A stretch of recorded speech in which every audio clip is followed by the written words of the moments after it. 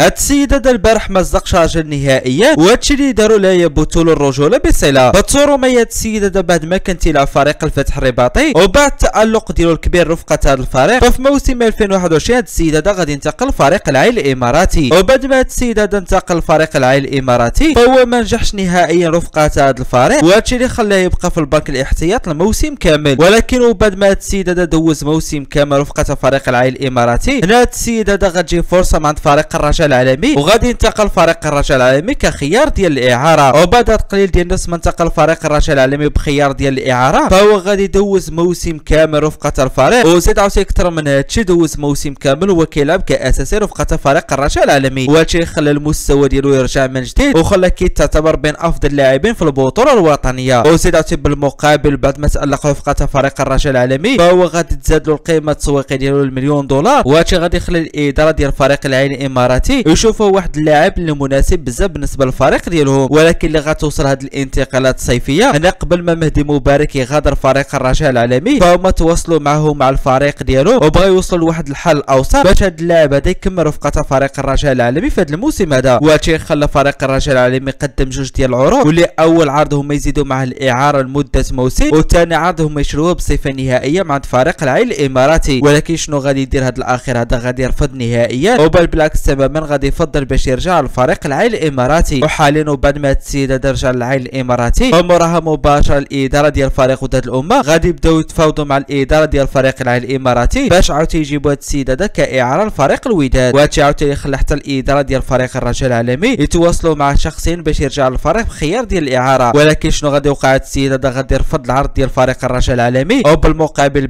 وبعد ما الإدارة ديال فريق وداد الأمة تواصلوا مع شخصيا هو قبل باش ينتقل لفريق وداد الأمة. يعني مثل حاليا وبشكل رسمي فمهدي مبارك انتقل لفريق وداد الأمة لمدة موسم. بخيار ديال الإعارة مع أحقية الشراء وهذا بكل صراحة واحد الحاجة اللي غير منطقية نهائيا. خصوصا هذا السيد هذا رفض العرض ديال فريق الرجاء العالمي واللي داروا فيه غير الخير في الموسم اللي داز وبالمقابل حاليا قبل العرض ديال فريق وداد الأمة. وهذا بكل صراحة ماشي رجوله نهائيا. بقوا مسير الفيديو بطل الكومنتات تعطوني الرأي ديالكم في انتقال مهدي مبارك لفريق الوداد. إلى معكم حفيظ وتهلا